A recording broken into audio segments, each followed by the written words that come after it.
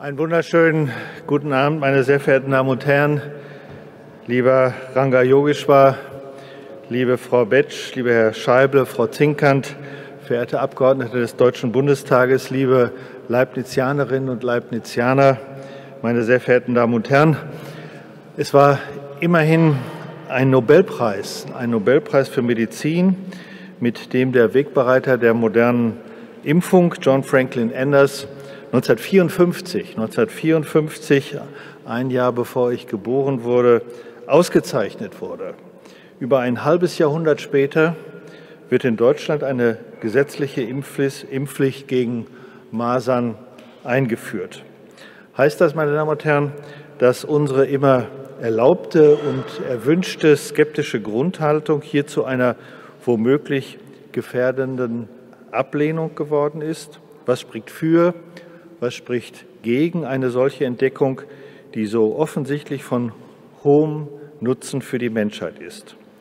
Darüber debattieren heute Abend Ranga Yogeshwar, Wissenschaftsjournalist, Cornelia Betsch, Professorin für Gesundheitskommunikation, Ulrich Scheible, Infektionsforscher und Leibniz-Direktor, moderiert von Katrin Zinkant, Redakteurin im Ressort Wissen der Süddeutschen Zeitung, bekannt vor allem äh, mit ihren Arbeiten im Bereich der Lebenswissenschaften.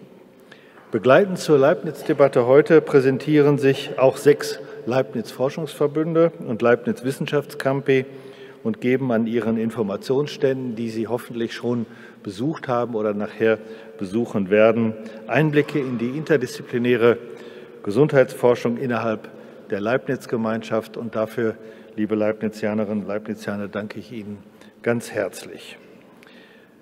Wie ist Impfskepsis zu begründen und wie schafft man es, Infektionskrankheiten weltweit einzudämmen, wenn jeder nur noch das impft, was er möchte? Darüber wollen wir heute in unserer Reihe Leibniz debattiert sprechen. Auch die heutige Podiumsdiskussion greift das Prinzip des wissenschaftlichen Diskurses auf, in dem Meinungsvielfalt gefordert und gefördert wird und der Disput wertgeschätzt. Dabei behält er stets die beste der möglichen Welten im Auge getreu unseres Namensgebers Gottfried Wilhelm Leibniz. Für den Austausch über Erkenntnisse, die für jede Form der Meinungsbildung und Entscheidung unerlässlich sind, übergebe ich nun an Sie, liebe Frau Zinkant, die Bühne, das Mikrofon und alles, was Sie an Insignien brauchen. Herzlichen Dank, meine Damen und Herren. herzlichen Dank. Mal gucken. Funktioniert das? Ja, es funktioniert. Okay. Alles klar. Ja, herzlich willkommen. Äh, schön, dass Sie so zahlreich erschienen sind. Ähm, wir haben heute Abend nicht viel Zeit. Wir wollen diskutieren, wie Herr Kleiner eben schon ausführlich ähm, dargestellt hat, über das Impfen und Impfskepsis. Woher kommt das? Was können wir dagegen tun? Kommen wir da überhaupt noch raus? Und ähm, äh, wir haben äh, drei ausgewiesene Experten heute Abend und die möchte ich jetzt äh, auf die Bühne bitten. Zuerst Frau äh, Cornelia Beetsch. Herzlich willkommen. Ranga Yogeshwar, vielen natürlich auch bekannt aus ähm, dem Fernsehen.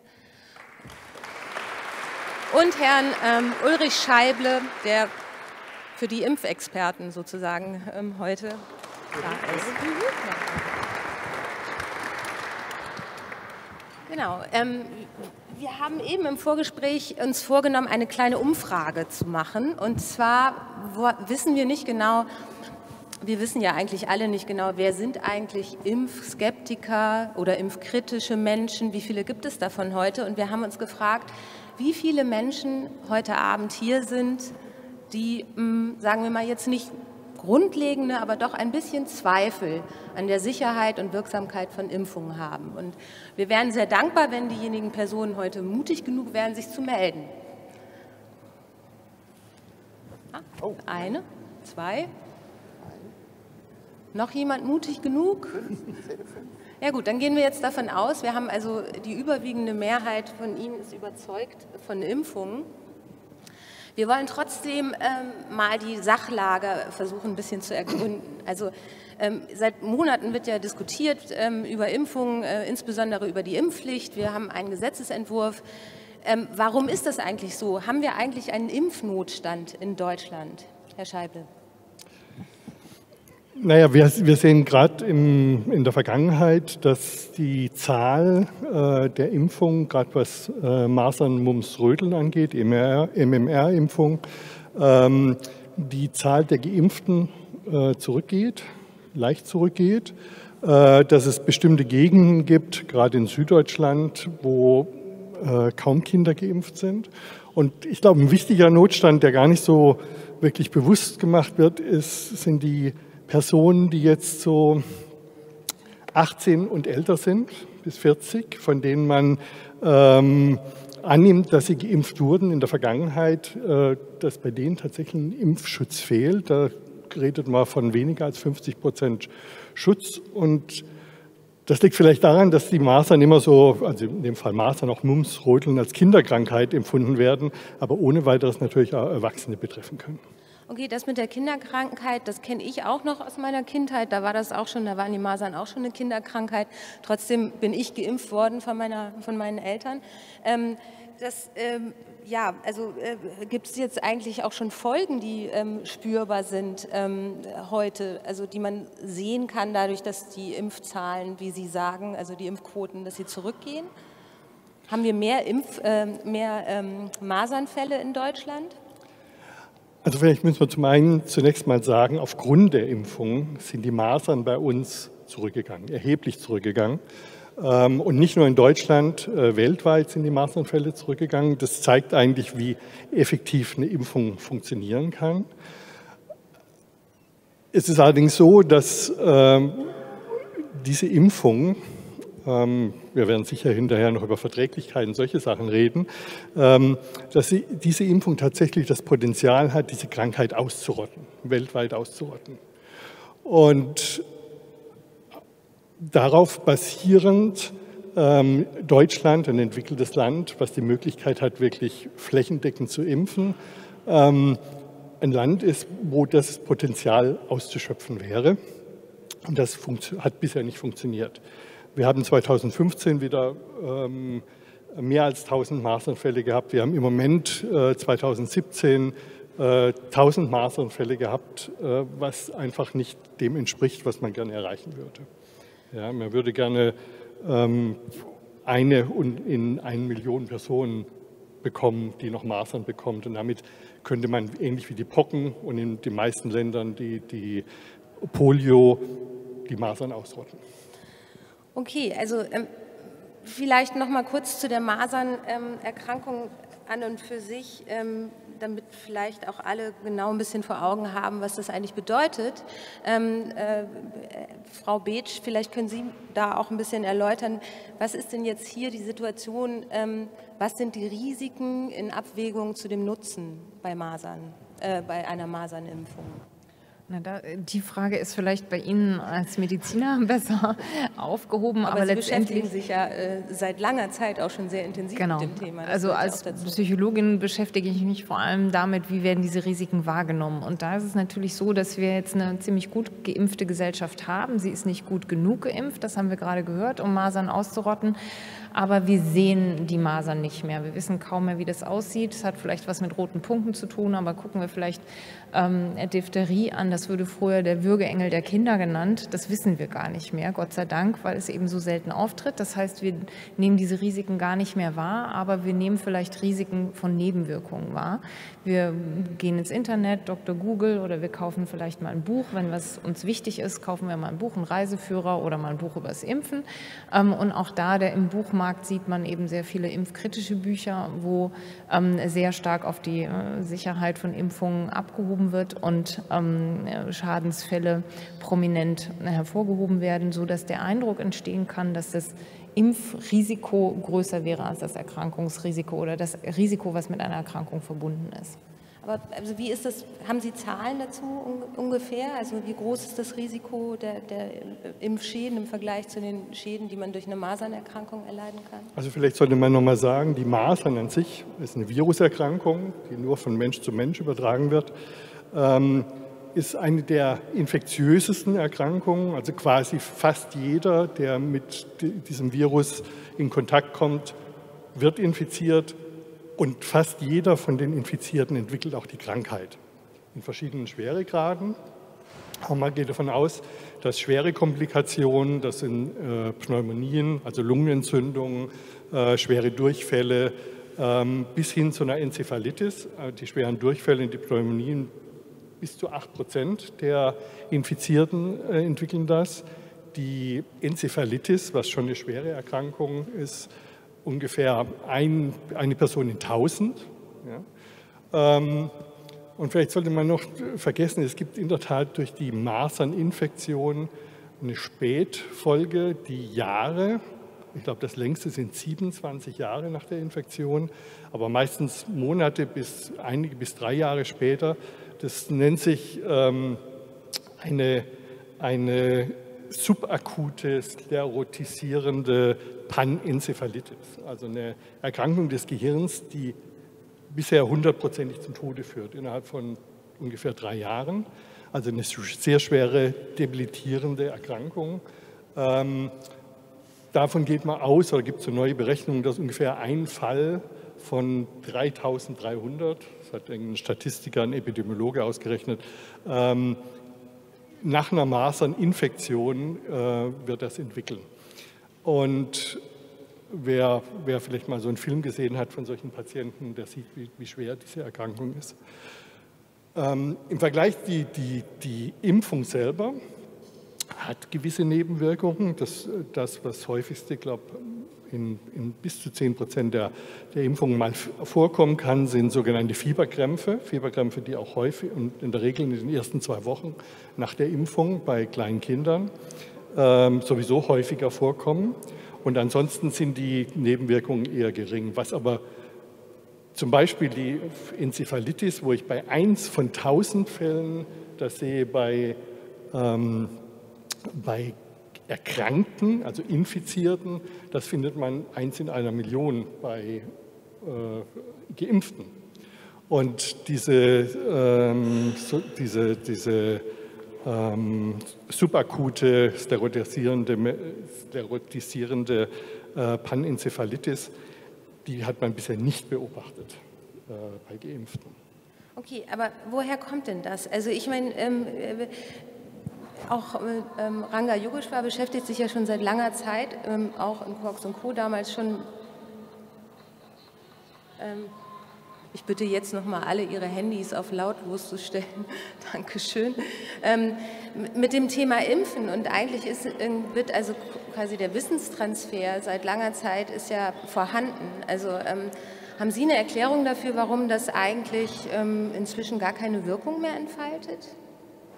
Ich glaube, wir müssen mehrere Sachen mal nebeneinander setzen. Das erste ist, ähm, ich bin in meiner Kindheit in Indien aufgewachsen es war ziemlich offensichtlich, warum man sich impfen lässt. Weil man sah Menschen, die hatten Polio, man sah Menschen, die hatten Pocken.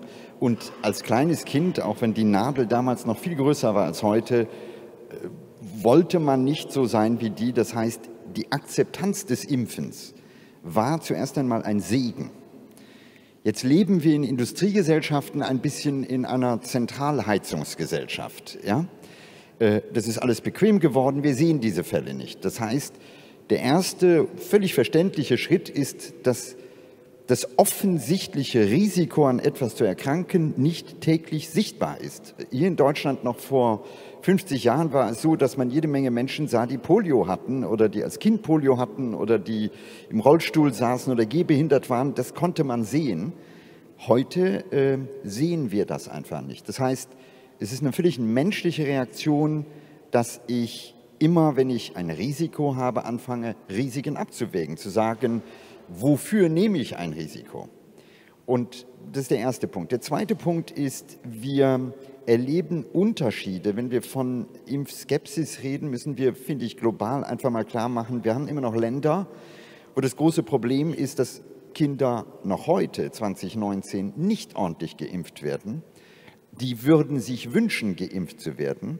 Und wir haben auf der anderen Seite Industrienationen, ähm, bei denen das nicht der Fall ist. Konkret die USA, da fängt die, äh, die WHO jetzt an, schlichtweg zu überlegen, ob man den USA den Status, dass die Masern dort nicht mehr da sind, entziehen möchte. Oder ich möchte ein zweites in gewisser Weise aktuelles Beispiel bringen äh, und dann kann man es vielleicht auch mal quantifizieren. Die HPV-Impfung, also die Gebärmutterhalskrebsimpfung, äh, ist zuerst einmal ein Segen. Es ist die erste Impfung gegen einen Krebs, also äh, großartig. Eine Riesenchance.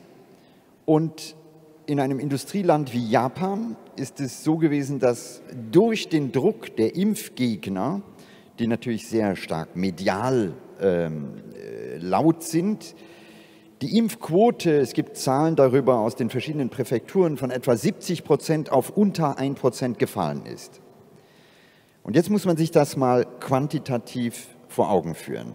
Wir haben in Japan eine Situation, wo statistisch gesehen im Jahr etwa 3000 Frauen sterben aufgrund der Tatsache, dass sie Gebärmutterhalskrebs bekommen.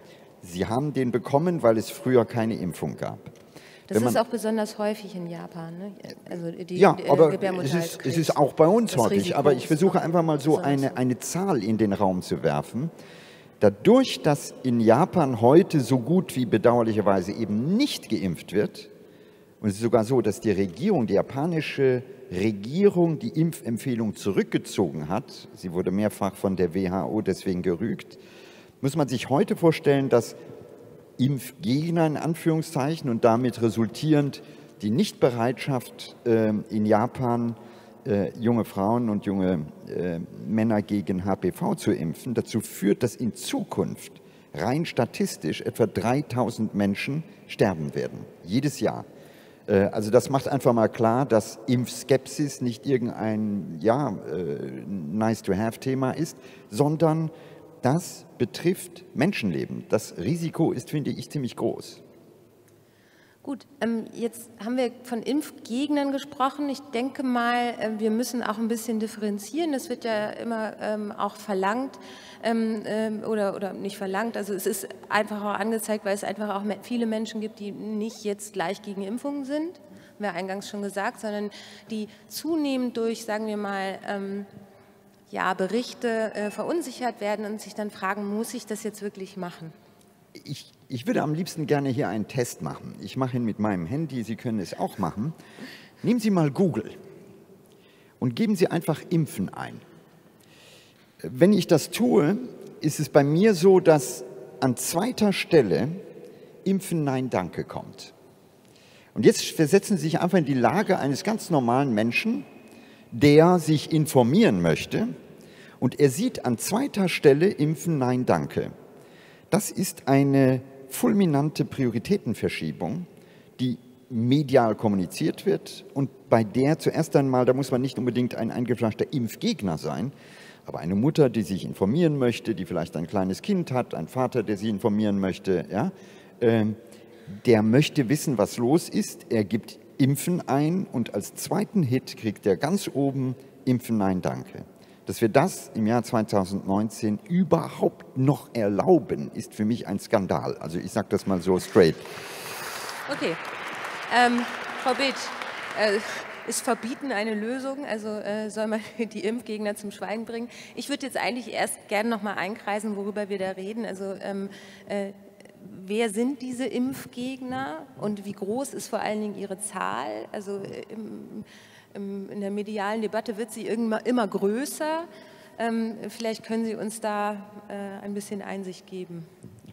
Ja, ich will erst noch mal was dazu sagen, was jetzt gerade gesagt wurde mit den Google-Treffern. Wir haben da eine Studie gemacht, die zeigt, wenn die Leute zwischen fünf und zehn Minuten auf diesen Seiten sind, dann wollen die hinterher weniger impfen und denken, impfen ist gefährlich. Also diese Seiten haben einen sehr großen Einfluss und ähm, man sieht sie andauernd und auch ähm, wie viele finde ich eigentlich von diesen Seiten. Und es hat jetzt Jahre gedauert, bis die guten Seiten nach oben gekommen sind in den Trefferlisten. Also es ist sehr wichtig, dass man zum Beispiel auch Ärzten sagt, verlinkt doch die Seite der Bundeszentrale für gesundheitliche Aufklärung von eurer Webseite zum Beispiel. Und das, das findet einfach nicht statt, weil Ärzte die nämlich zum Beispiel auch nicht kennen. Also unter 10 Prozent der Ärzte kennen diese Seite überhaupt und auch 10 Prozent nur der mhm. Zielgruppe. Also diese diese Art der Informationssuche, die wir nun, das macht halt jeder und das, was wir finden, ist sehr relevant und das macht was vor allem mit unseren Gefühlen. Wir lesen da Geschichten, ähm, die, die brennen sich uns ein, wir, machen, wir kriegen dadurch Angst. Und wir kriegen dadurch auch das Gefühl, dass, ähm, dass diese Impfgegnerschaft da draußen, dass das ganz viele sind. Und das ist was, was auch in den Medien immer mal kolportiert wird, als Herr Spahn seinen äh, Gesetzesentwurf in der Bildzeitung vorgestellt hat. Da war einer der Sätze, dass die Anzahl der Impfgegner immer größer wird. Und das ist schlicht nicht ähm, wahr. An dieser Stelle muss man das klar sagen. Die, man sieht das in den Umfragen der Bundeszentrale für gesundheitliche Aufklärung, dass die Zahl über die Jahre abgenommen hat, die Befürworter zugenommen hat. Und auch wenn man die Kinder anguckt, die Krankenkassen haben das gerade gemacht, die Barmer, auch die Techniker haben mal ihre versicherten Daten angeschaut und geguckt, wie viele Kinder sind denn gänzlich ungeimpft. Das waren auch so zwischen zwei und fünf Prozent. Und das entspricht auch in etwa den Zahlen von der Bundeszentrale. Und da sind sicherlich noch einige Kinder dabei, die aus medizinischen Gründen nicht geimpft werden können. Also das heißt, die Zahl ist klein und sie wird kleiner und es ist ganz wichtig, dass wir da pingelig sind. Ja, ähm, ja ich, ähm, ich sage auch gerne nachher noch. War immer schon ist, brumm. Das ist ein, ein total wichtiger Aspekt, weil bei dieser Debatte wie auch bei anderen Debatten wir, ich nenne das in die mediale Falle tapsen. Wir haben klassischerweise, stellen Sie sich vor, Sie haben eine Talkshow, irgendetwas, dann sehen Sie die Moderatorin, den Herrn, der sagt, impfen ja bitte und die Dame, die sagt impfen, nein danke. Wir als Zuschauer haben das Gefühl pari pari. Und ich glaube, äh, da müssen wir auch anfangen, ähm, diese Grammatik zu ändern. Und ähm, das erleben wir übrigens nicht nur, und das ist ein, ein zentraler Punkt vielleicht heute Abend, wir erleben diese Skepsis ja nicht nur beim Impfen, wir erleben ganz ähnliche grundsätzliche Skepsis, ob das Klimawandel ist, ob das, was weiß ich, äh, Handymasten sind, also da könnten wir eine lange Liste machen. Und wir tapsen immer wieder in dieselbe Falle. Und ich habe da einen sehr konkreten Vorschlag. Ähm, es gibt einen wunderbaren ähm, Menschen in den USA, der heißt John Oliver. Äh, der hat eine Sendung, die heißt Last Week Tonight. Wenn Sie sie nicht kennen, gucken Sie auf YouTube. Äh, es ist vielleicht ein Gewinn heute Abend.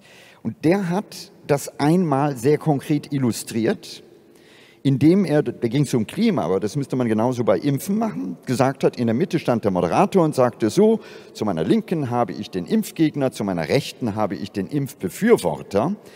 Und dann sagt der Moderator, ich muss jetzt noch etwas tun, ich muss das Ganze sozusagen in der Relevanz auch abbilden, damit Sie, verehrte Zuschauer, wissen, wieso die Stimmen sind.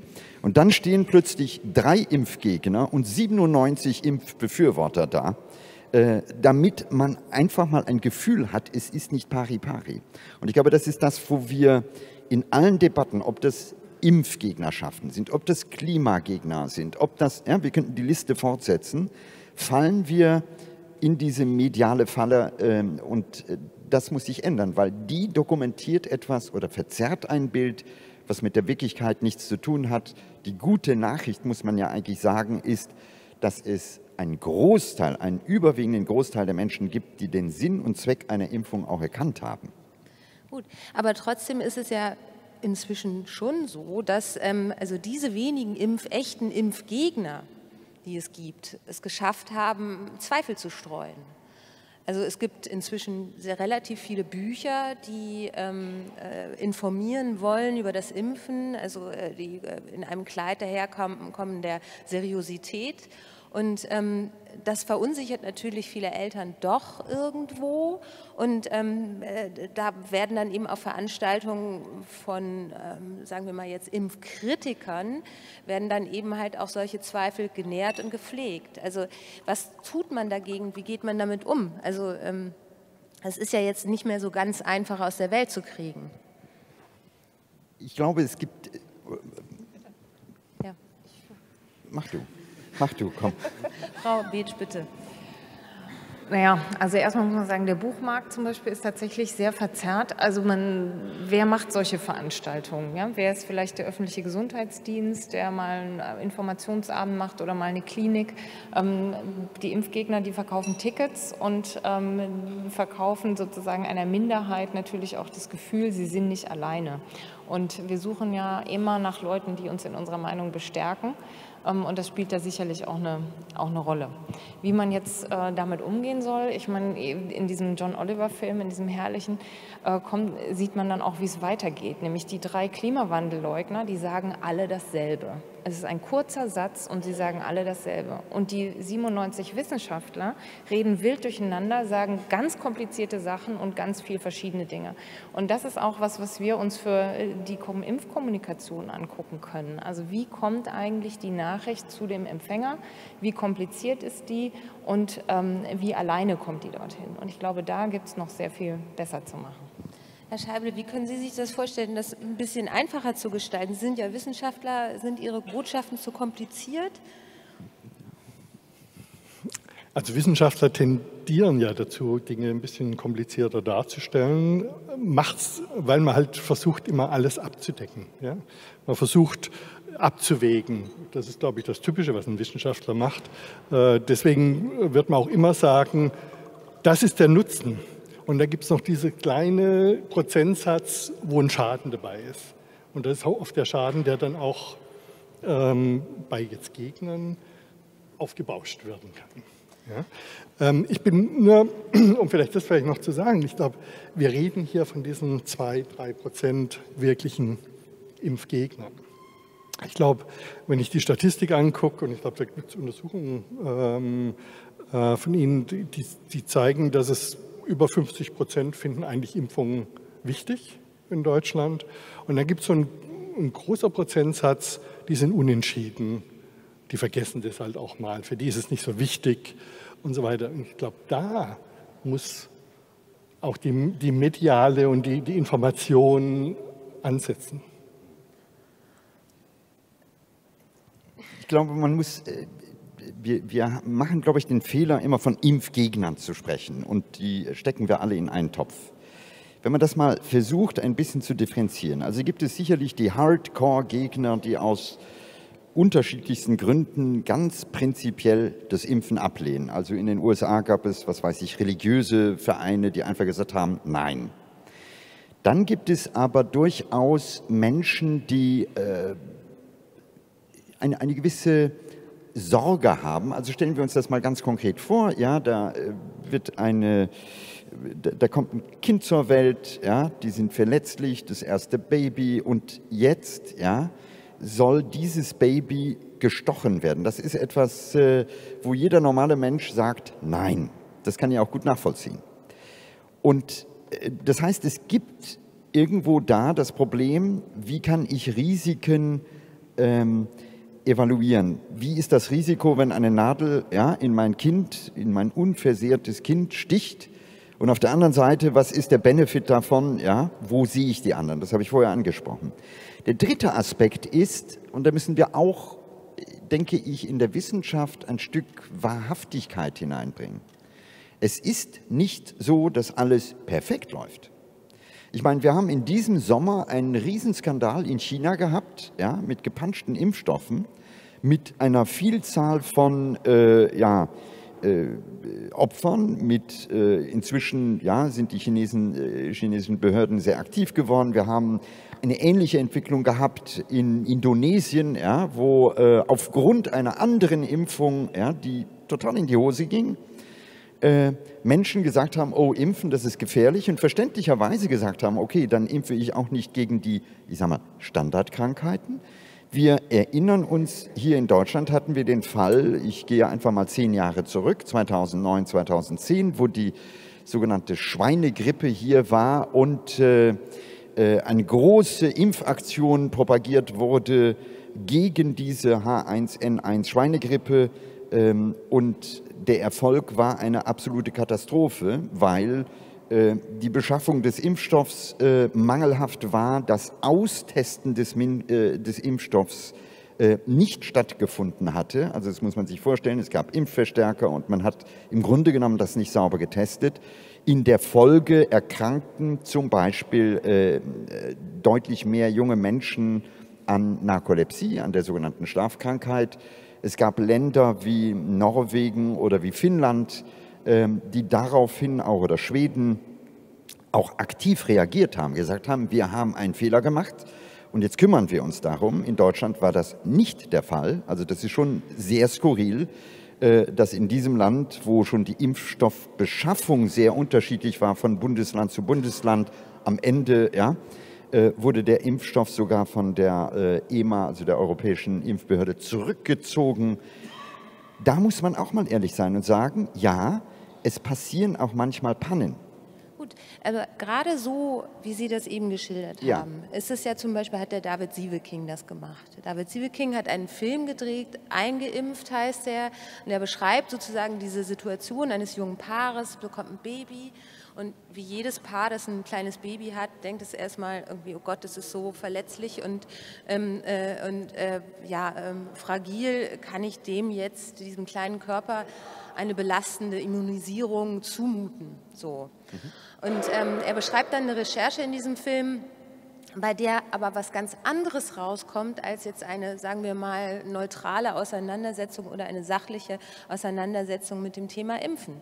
Das ist jetzt natürlich, wie soll der normale Mensch denn unterscheiden zwischen seriöser Information? Also so ein Film kann ja auch zu einem, also der kann ja gut gemacht sein oder er kann eben halt so gemacht sein. Also wo dann ähm, schlechte Beispiele belegen sollen, dass eigentlich doch ähm, ähm, es berechtigte Zweifel an Impfungen gibt. Also wie gehe ich als Laie, der ein kleines Baby hat, damit um, Frau Wild? Ja, es ist schwierig, gerade weil solche Filme natürlich auch Emotionen wecken und vielleicht genau die gleichen, die ich auch habe. Ich habe vielleicht sowieso schon Angst und ähm, dann fängt der, der Film das an, auch ein. Ne? Also generell bei Internetseiten oder Büchern würde ich immer gucken, was ist das Interesse dahinter, will mir was verkauft werden. Ähm, das sind immer, denke ich, ganz gute Hinweise. Ähm, aber ich denke auch, dass in Deutschland stärker aktiv informiert werden muss. Aber ich denke auch, dass ähm, zum Beispiel diese, die Webseite der Bundeszentrale für gesundheitliche Aufklärung hat auch noch keinen Mythencheck. Das finde ich zum Beispiel auch was, was da noch deutlich fehlt. Es gibt vom Robert-Koch-Institut und Paul-Ehrlich-Institut so die 20 typischen Fragen zum Impfen. Die sind sehr gut beantwortet, aber ich denke, da geht auf jeden Fall noch mehr. Also man hat halt auch immer so ein bisschen Angst zu sagen, wenn ich jetzt über die typischen Mythen schreibe, impfe ich die Leute dann mit diesen Mythen. Also sähe ich die Mythen aus und mache ich dadurch die Geschichte nur schlimmer. Also da gibt es auch äh, immer mal wieder Befunde in der Forschung, die, äh, die das zeigen. Und man ist sich da sehr unsicher, wie man damit umgeht. Und das kommt, glaube ich, schon so ein bisschen auch daher, dass man eben Angst hat zu sagen, es ist eine Risikoabwägung. Aber so ganz verstehe ich auch nicht, warum das eigentlich nicht so stark kommuniziert wird, vielleicht weil man Angst hat, dass die Leute sich dagegen entscheiden. Aber in der Regel, wenn die Leute die Informationen auf dem Tisch haben und gut aufgeklärt werden und wissen, was, was passieren kann, so zumindest berichten viele Ärzte, tun sie es auch. Und gerade diese, wenn die Kinder in dieser wahnsinnig frischen Phase sind und man ja nur seine Hebamme so richtig über den Weg traut mit diesem frischen Kind, da ähm, ist es wichtig, dass die erste Impferfahrung eine gute ist. Das haben wir in der Studie mit dem Robert-Koch-Institut gezeigt. Wir haben die Schwangeren länger verfolgt, also bis sie dann ihr Kind hatten und auch danach, und uns die Entwicklung von der Impfeinstellung angeguckt. Und da haben wir gesehen, dass eben diese erste Erfahrung ganz wichtig ist. Während die Frauen noch schwanger waren, da fanden die Impfen alle gut oder es war ihnen irgendwie egal, aber es war, sie hatten jetzt keine negative Einstellung dazu. Und wenn sie dann eine schlechte Erfahrung mit ihrem Kind gemacht haben, dann ging das abwärts und dann fangen sie an, kritisch zu werden. Dann kriegt das Kind vielleicht zum ersten Mal Fieber. Sie wussten nicht so richtig, was sie dann machen sollen. Und deswegen ist es ganz wichtig, dass die Ärzte da sehr in die Verantwortung genommen werden, gut ausgebildet werden, wie sie mit den Leuten reden. In Kanada zum Beispiel gibt es Projekte, die gehen in die Krankenhäuser und reden auf der Entbindungsstation mit den Frauen schon über das Impfen und zwar hier nicht mit nicht so, sondern sie machen, äh, das heißt Motivational Interviewing, das ist also eine ganz wertschätzende Gesprächsführung, wo man einfach darüber redet, was die Leute auch für Bedenken haben und die ernst nimmt und dann die Informationen teilt. Und das hat bombastische Erfolge. Ähm, die Impfmüdigkeit geht zurück. Ähm, die Leute impfen dann aus, weil sie selber sich sicher fühlen und es gut finden und nicht, weil es ähm, ihnen aufgepfropft wird. Also ich glaube, da müssen wir in Deutschland noch sehr an dem System arbeiten, wie Ärzte mit den Patienten da über das Impfen reden und sie da auch besser ausstatten. Also wer tut das? Wer kümmert sich in Deutschland darum, dass die Ärzte mhm. das gut können? Wie ist denn das an den Universitäten? Kriegen die eigentlich die Ärzte eine Ausbildung im, im Impfen? Es gehört das sozusagen zum Programm. Herr Scheible, wissen Sie das? Also vielleicht muss ich dazu sagen, ich bin kein Arzt, sondern Biologe. Also, ja. aber vielleicht haben Sie ja schon aber, solche Kurse auch schon mal gegeben. Genau, Entschuldigung. Ähm, aber meines Wissens äh, gibt es für speziell das Impfen überhaupt keine wirkliche äh, oder ist kein Teil der Ausbildung, der Ärzteausbildung. Okay, also äh, es gibt also eine gewisse Nachlässigkeit, aber was ist denn jetzt zu tun? Weil, ähm, wie wir eben gehört haben, also an, an, an Stelle 2, also wenn ich jetzt Informationen suche, kommt an Stelle 2 äh, auf Google, kommt ähm, äh, Impfen, nein, danke oder wie das hieß. Ähm, und ähm, dann, oder vielleicht als dritter Treffer lande ich dann bei einer, tatsächlich bei Ärzten, die, es gibt ja auch Arztgruppen, die das Impfen nicht ablehnen, aber eher kritisch sehen und sagen, es müsse, müsse individuelle Impfentscheidungen geben und das spricht mich dann irgendwie an. Wie finde ich denn, also was muss passieren, damit ich als Mutter eines kleinen Babys den Weg finde, ähm, ähm, also ähm, jetzt nicht nur äh, aus dem Krankenhaus heraus, also wo dann ähm, motivational, ähm, ähm, also Motivierungsgespräche stattfinden, sondern auch einfach als Mensch, der zu Hause sitzt und denkt so, hm, jetzt wären eigentlich Impfungen dran, das Kind ist ja schon ein Jahr alt. Äh, wie gehe ich damit um? So. Also was muss passieren? Ach, einiges. Äh, ich fange mal an bei der Kommunikation.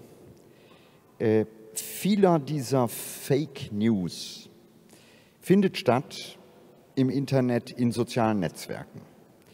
Äh, und jetzt muss man einen Moment lang überlegen, äh, warum sind die so erfolgreich? Und wenn man genau sich die Grammatik von sozialen Netzwerken anschaut, sind die im Gegensatz zu guten Journalisten nicht, ich sag mal, der Wahrheit verpflichtet, sondern die betreiben Erregungsbewirtschaftung. Das heißt, Meldungen, die besonders intensiv geklickt werden, werden automatisch nach oben gesetzt. Und genau dadurch kommt es zu einer äh, informationellen Schieflage, weil einfach Dinge verzerrt werden. Aber sie werden verzerrt, weil der eine Fall dieses kleinen Mädchens, die nach einer Impfung das und das bekommen hat, ja, wird einfach angeklickt. Das liegt in der Natur von uns allen. Und genau dadurch wird ein falsches oder schräges Bild geprägt. Der zweite Punkt, und der ist schon ein bisschen angesprochen worden, ist Empathie mit Menschen, die berechtigte Fragen haben. Äh, wir haben im Moment eine äh, Situation, wo zwei Fronten verhärtet sind. Also da gibt es die einen, das sind die ja, thronenden Akademiker, die alle genau wissen, was richtig und falsch ist. Und die sagen einfach, du musst impfen, Punkt. Und dann gibt es die anderen, die, äh, ja, die andere Seite, die skeptisch ist, ist manchmal empathischer mit Menschen als die etablierte Wissenschaft. Ich finde, das kann nicht sein. Äh, da müssen wir äh, einen anderen Dialog führen. Und das Dritte ist, ich glaube, dass Menschen in dem Moment, wo man ihnen Risiken wirklich nebeneinander setzt und ihnen das erläutert, sehr oft mitgehen. Also das ist eine Erfahrung, die ich in 30 Jahren im Journalismus gemacht habe, in verschiedenen Feldern. Und es war immer dieselbe Thematik. Also äh, ich nehme mal ein bewusst ein anderes Beispiel, Elektrosmog. Ja? Da wurde ich dann angerufen und äh, äh, ein nettes Ehepaar sagte mir, wissen Sie, wir wollen gerade ein Haus kaufen und in der Nähe, 200 Meter weit weg, ist eine Hochspannungsleitung. Sollen wir das Haus jetzt kaufen oder nicht? Und ich habe nicht gesagt ja oder nein, aber ich habe gesagt, wo ist das Haus? Okay, das Haus ist in einer beruhigten Straße. Wo wohnen Sie jetzt? Ja, jetzt wohnen wir an einer Straße, wo mehr Verkehr ist. Dann habe ich gesagt, also Sie haben Kinder. Wenn ich mir das einfach mal überlege, das Risiko, dass das Kind überfahren wird, ist deutlich größer als das Risiko, ähm, dass durch Elektrosmog was passiert. Insofern, wir werden nie eine Welt haben ohne Risiko. Ein bisschen Restrisiko gibt es immer. Und in der Abwägung würde ich sagen, da würde ich zugreifen, wenn das Haus schön ist, vorausgesetzt. Äh, und es war immer wieder erstaunlich, dass das ganz gut funktioniert. Also in dem Moment, wo Menschen glaubwürdig Risiken nebeneinander gesetzt werden. Also wo man nicht das Narrativ hat, es gibt kein Risiko. Nein, es gibt auch beim Impfen ein Risiko. Das ist da und das muss man auch klar benennen. Aber wenn man es in Verhältnis setzt zu anderen Risiken, auch zu anderen Risiken des Alltags, dann nimmt man, glaube ich, eher die Leute mit. Also das ist zumindest meine Erfahrung, die gut funktioniert hat. Und der letzte Punkt ist, die Wissenschaft muss ein klares Narrativ in dem Punkt haben. Das ist vorher angedeutet worden. Ähm, wenn wir uns auf Debatten einsetzen, wo zum Teil obskure Theorien kommen, weil wir reden ja nicht nur bei Impfgegnern von tatsächlich den sehr bedauerlichen Menschen, wo durch eine Impfung tatsächlich eine Schädigung passiert ist. Also die gibt es eben auch und das sind ganz ähm, traurige Geschichten, aber sie passieren nun mal leider. Aber es gibt ja daneben auch obskure Theorien, dass eine Impfung dazu führt, dass man Autismus oder andere Dinge bekommt, äh, also wo es null wissenschaftliche Grundlage gibt. Da muss die Wissenschaft sich auch mal trauen zu sagen, pass auf, wir wollen auch kein Risiko oder ein minimales Risiko, aber das eine ist Bullshit und das andere ist tatsächlich da, aber lass uns zusammen gucken, wie die Verhältnismäßigkeit ist. Das heißt, Wahrhaftigkeit, Empathie.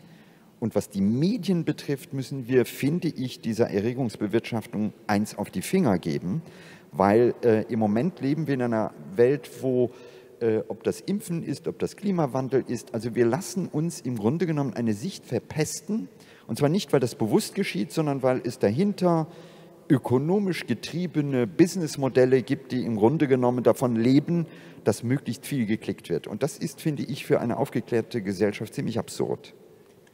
Okay. Das ich möchte noch mal auf den äh, Punkt davor eingehen, nämlich auf die ähm, Wahrhaftigkeit, also dass man ehrlich kommuniziert auch über Risiken. Ist da die Angst zu groß, ähm, also äh, die Angst zu groß, dem Gegner, dem vermeintlichen, also ähm, Recht zu geben auf eine gewisse Art und damit das Ganze ein, äh, noch weiter einreißen zu lassen? Also wenn ich jetzt als äh, Wissenschaftler sage, ja, es gibt Risiken. Vielleicht soll man in diesem Zusammenhang nochmal sagen, was möchte man denn eigentlich machen, wenn man impft? Ja? Man möchte eine möglichst gute Immunantwort auslösen, die hinterher den Krankheitserreger bekämpft. Das heißt, man möchte eigentlich was machen, was während der Infektion schon passiert, ohne das, ohne die Krankheit zu erzeugen. Das heißt, man kommt in der Regel nicht drum herum, auch eine kleine Entzündung auszulösen. Und das ist genau das, was, was äh, Impfungen machen. Ja, es, gibt, es gibt immer eine kleine Entzündungsreaktion, zumindest lokal an der Stelle, wo man äh, den Impfstoff injiziert. Und das darf man nicht leugnen. Das ist einfach so, weil man den Körper ja dazu bringen möchte, eine gute Immunantwort zu machen, eine schützende Immunantwort zu machen. Und eben das Gegenteil zur Infektion, das Schlimme an der Infektion, die Krankheit, die möchte man eben dann nicht dabei haben. Okay, ja. aber also äh, klar, ähm, äh, Impfreaktion nennt man mal sowas, so etwas ja meistens. Aber es gibt natürlich, ähm, äh, das wird ja auch beim äh, Paul-Ehrlich-Institut angemeldet oder gemeldet, es gibt natürlich die Fälle von Impfschäden, bei denen man zwar nicht immer weiß, ob sie denn wirklich kausal zusammenhängen mit der Impfung, aber ähm, also wenn man jetzt sagt, okay, es gibt Impfschäden, wir können sie gar nicht so genau beziffern, die Zahl ist wahrscheinlich klein, aber es gibt das. Und äh, in Abwesenheit einer Krankheit, die wir derzeit nicht haben, kann es, irgend, kann es dennoch durch die Impfung, in, sehr unwahrscheinlich, aber dennoch zu einem Impfschaden kommen. Wie vermittelt man äh, damit das Impfen? Das ist ja die Frage. Also Frau Beetsch, ich weiß nicht, äh, das wäre ja sozusagen die ehrliche Darstellung oder ist die ehrliche Darstellung. Ja, also wir sind prinzipiell nicht so gut in der Verarbeitung von Risiken, insbesondere nicht von kleinen Risiken. Und es handelt sich hier immer um sehr, sehr kleine Risiken, sowohl der Erkrankung als auch ähm, natürlich noch viel kleiner der, der schwerwiegenden ähm, Schadensfälle.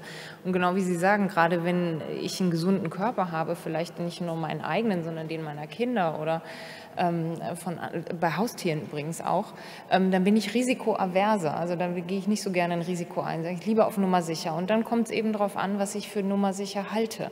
Halte ich das Nicht-Impfen dann für sicherer als ähm, die Impfung? Das, das ist ein Problem.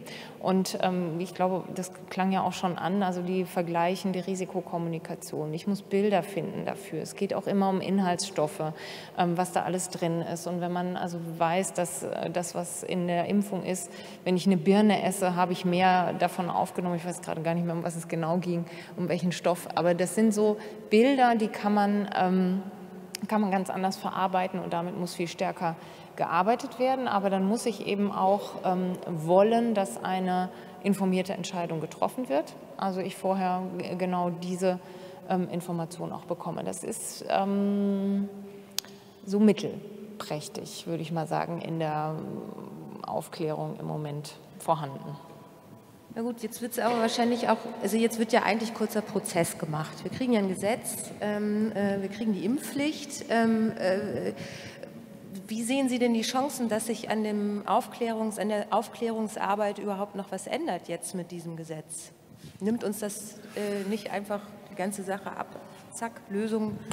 Ja, ich glaube, davon träumen ganz viele Leute.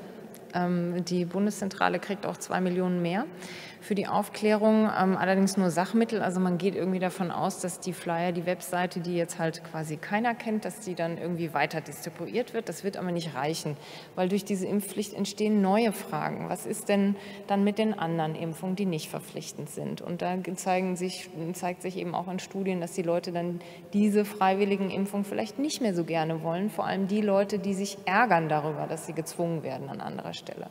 Das heißt, es gibt noch einen enormen Mehrbedarf von Aufklärung und es gibt im Moment noch niemanden, der damit hauptamtlich betreut ist.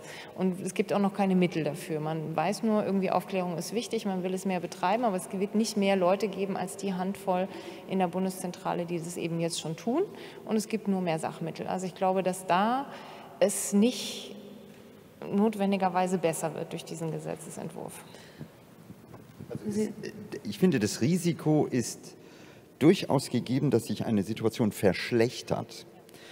Denn in dem Moment, äh, man muss sich das vorstellen, was heißt Impfpflicht? Äh, das bedeutet, dass wir demnächst Fälle haben, wo Mütter und Väter sagen, nicht mein Kind. Und äh, wo der Staat sagt, doch. Und das wird ein David gegen Goliath-Kampf, der medial sehr schnell sich zugunsten der armen Mutter, die sich gegen den großen Staat wehrt, äh, entschieden wird, wenn die Kommunikation dahinter nicht funktioniert. Äh, es gibt andere Länder, da gibt es die klare Impfpflicht. Wenn du die Kinder in die Schule bringst, müssen sie geimpft sein, sonst kommen sie nicht dahin. Aber entscheidend ist, äh, den kommunikativen Aspekt sehr klar zu machen, damit äh, auch jedem, jedem Skeptiker klar ist, Warum brauchen wir diese Impfpflicht? Warum äh, ist es wichtig, dass eben nicht 70 Prozent der Menschen geimpft sind, sondern eben annähernd 100 Prozent?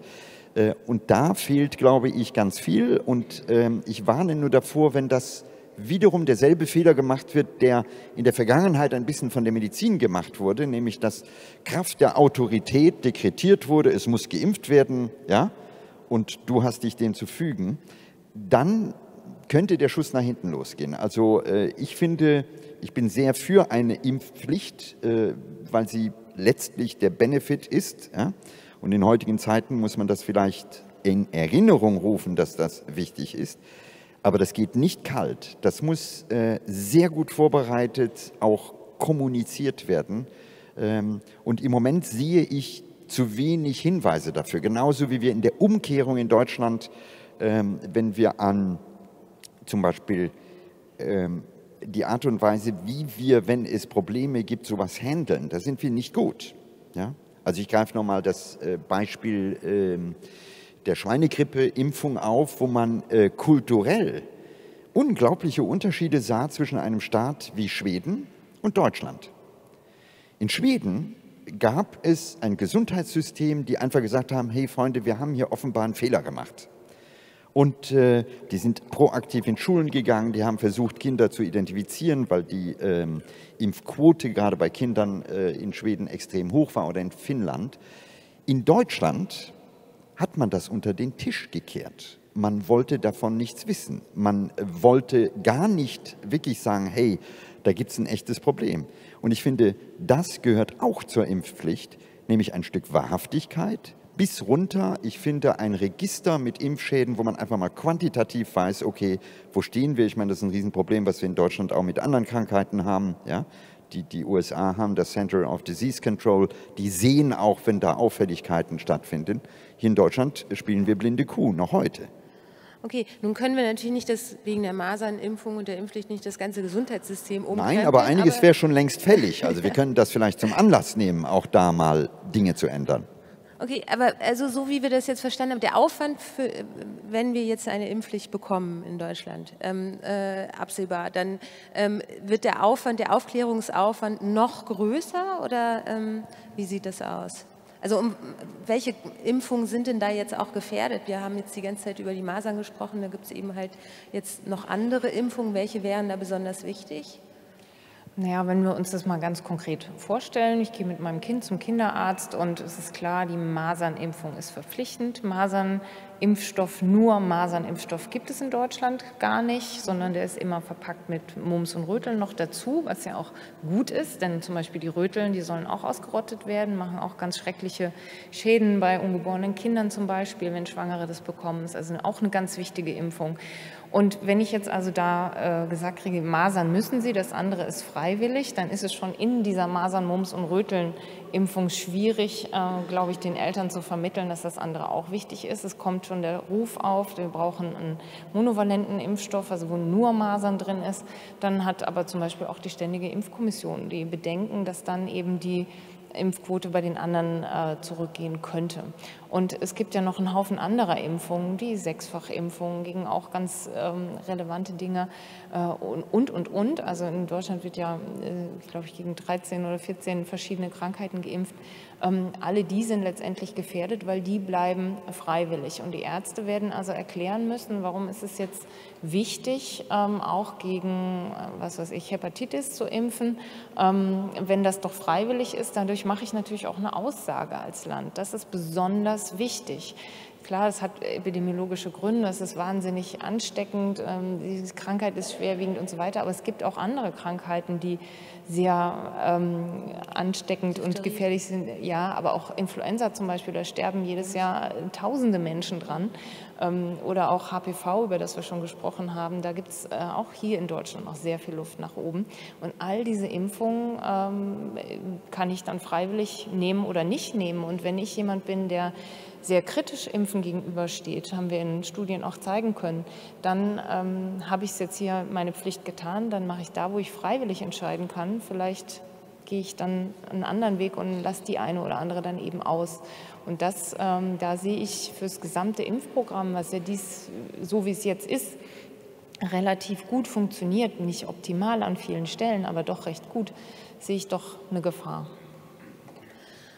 Gut, aber ähm, äh, warum macht man das denn nicht wie in Frankreich? Ich habe gerade gehört, äh, Ranga Jurgisch war es für die Impfpflicht, für eine Impfpflicht. Ähm, kann man dann nicht gleich alle ähm, wichtigen Impfungen verpflichtend machen? Dann ich finde das schon Problem das Wort, äh, ich meine, wir reden zwar von einer Pflicht, aber äh, es tut mir leid, ich erinnere mich immer an meine Kindheit und ich sage eine Impfchance. Äh, also, weil wir einfach das Glück haben, dass wir heute mit Hilfe einer doch sehr ausgereiften Wissenschaft den meisten Menschen wirklich helfen können. Äh, das müssen wir auch mal stärker betonen. Also ich finde, wir reden immer über die Risiken, wir reden nicht darüber, wie wirksam überhaupt eine Impfung ist. Äh, und ich bin völlig dabei, wenn wir anfangen zu differenzieren und sagen, okay, jetzt gibt es nur noch die Masern und die anderen nicht.